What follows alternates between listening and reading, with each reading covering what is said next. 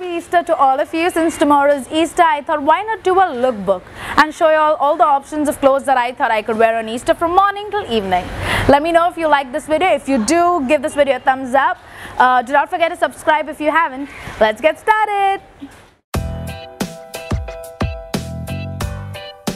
My first look is a very simple but yet a very classy look that I normally wear when I go out for lunches, movies and things like that. I always like being comfortable if I'm going to be at a place for a longer period of time and so I wear the most minimum amount of jewelry and I wear flats.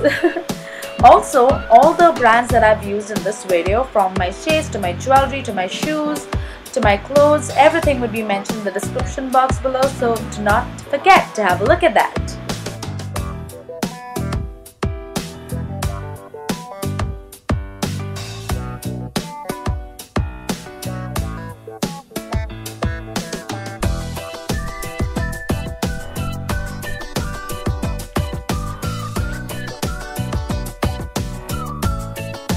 My second look is a very casual look but this is how I normally am on the regular days of my life.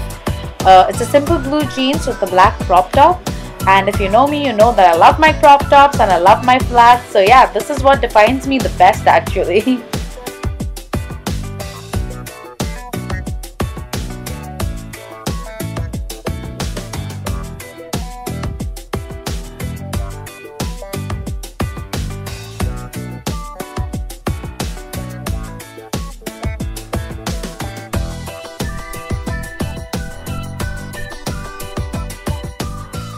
My third look is also a very casual look that you could normally wear to go out for coffee or to meet your friends or to go shopping. I love this look because it's paired up with flats again and a very pretty dress.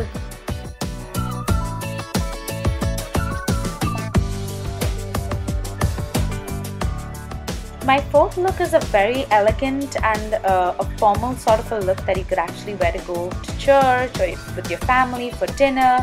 I love this dress and I love how it looks on me.